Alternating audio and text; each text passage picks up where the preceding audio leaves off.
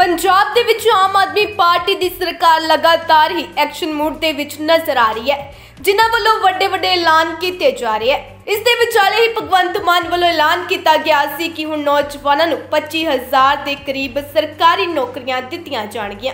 ਹੁਣ ਇਸੇ ਨੂੰ ਲੈ ਕੇ 20000 ਨੌਕਰੀਆਂ ਨੂੰ ਹਰੀ ਝੰਡੀ ਦੇ ਦਿੱਤੀ ਗਈ ਹੈ ਅਤੇ ਕਿਹਾ ਕਿ ਅਗਲੇ 10 ਦਿਨਾਂ ਵਿੱਚ ਉਹਨਾਂ ਵੱਲੋਂ ਨੋਟੀਫਿਕੇਸ਼ਨ ਜਾਰੀ ਕੀਤੀ ਜਾਵੇਗੀ ਤੇ ਉਸ ਤੋਂ ਬਾਅਦ ਦੱਸਿਆ ਜਾਵੇਗਾ ਕਿ ਕਿਸ ਤਰੀਕੇ ਨਾਲ ਤੁਸੀਂ ਨੌਕਰੀ ਨੂੰ ਹਾਸਲ ਕਰ ਸਕਦੇ ਹੋ। ਜੇ ਪੰਜਾਬ ਦੀ ਗੱਲ ਕਰੀਏ ਤਾਂ ਪੰਜਾਬ ਦੇ ਵਿੱਚ ਲਗਾਤਾਰ ਬੇਰੋਜ਼ਗਾਰੀ ਦੀ ਗਿਣਤੀ ਵੱਧਦੀ ਹੋਈ ਨਜ਼ਰ ਆ ਰਹੀ ਸੀ ਤੇ ਹਰ ਕੋਈ ਨੌਕਰੀ ਦੀ ਮੰਗ ਕਰ ਰਿਹਾ ਸੀ। ਤੁਹਾਨੂੰ ਸਭ ਨੂੰ ਪਤਾ ਹੈ ਕਿ ਆਮ ਆਦਮੀ ਪਾਰਟੀ ਨੇ ਪਹਿਲੀ ਰੈਲੀ ਵੀ ਕੀਤੀ ਸੀ, ਜਿਸ ਵਿੱਚ ਉਹਨਾਂ ਨੇ ਕਿਹਾ ਸੀ ਕਿ ਜਿਨ੍ਹਾਂ ਨੂੰ ਕਾਂਗਰਸ ਸਰਕਾਰ ਨੇ ਨੌਕਰੀਆਂ ਨਹੀਂ ਦਿੱਤੀਆਂ, ਉਹਨਾਂ ਨੂੰ ਉਹ ਨੌਕਰੀ ਦੇਣਗੇ ਤੇ ਆਪਣੇ ਕਾਰਡਾਂ ਨੂੰ ਸੰਭਾਲ ਕੇ ਰੱਖਿਆ ਜਾਵੇ ਤੇ ਇਸੇ ਕਾਰਡ ਤੇ ਤੁਹਾਨੂੰ ਨੌਕਰੀ ਦਿੱਤੀ ਜਾਵੇਗੀ। ਹੁਣ ਇਸ ਦੇ ਚਲਦਿਆਂ ਐਲਾਨ ਕੀਤਾ ਗਿਆ ਸੀ ਕਿ 25000 ਨੌਕਰੀਆਂ ਦਿੱਤੀਆਂ ਜਾਣਗੀਆਂ ਤੇ ਹੁਣ 20000 ਨੌਕਰੀਆਂ ਨੂੰ ਹਰੀ ਝੰਡੀ ਮਿਲ ਚੁੱਕੀ ਹੈ। ਪੰਜਾਬੀਆਂ ਨੇ ਕਿਹਾ ਸੀ ਕਿ ਜਿਹੜੀਆਂ ਨੌਕਰੀਆਂ ਦਿੱਤੀਆਂ ਜਾਣਗੀਆਂ, ਉਸ ਵਿੱਚ ਰਾਖਵਾਂਕਰਨ ਵੀ ਕੀਤਾ ਜਾਵੇ ਤੇ ਪੰਜਾਬ ਦੇ ਲੋਕਾਂ ਨੂੰ ਹੀ ਦਿੱਤੀ ਜਾਵੇ।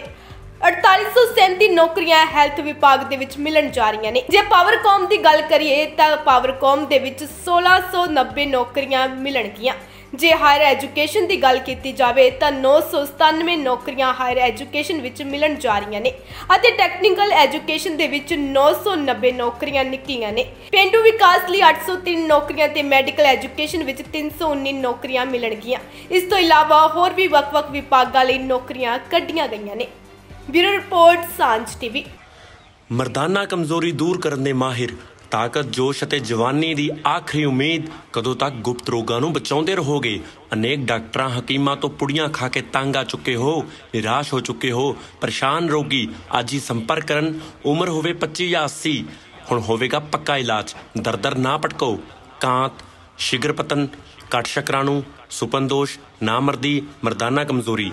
ਇੱਕ ਵਾਰ ਜ਼ਰੂਰ ਅਜ਼ਮਾਓ। ਮੈਂ ਵਾਅਦਾ ਕਰਦਾ ਹਾਂ, ਤੁਸੀਂ ਨਿਰਾਸ਼ ਨਹੀਂ ਹੋਵੋਗੇ। ਵਰਮਾ ਦਵਾਖਾਨਾ ਨੀਅਰ ਨਾਈਆਂ ਵਾਲਾ ਚੌਂਕ ਫਗਵਾੜਾ ਮੋਬਾਈਲ ਨੰਬਰ 9815 66471 98144 66471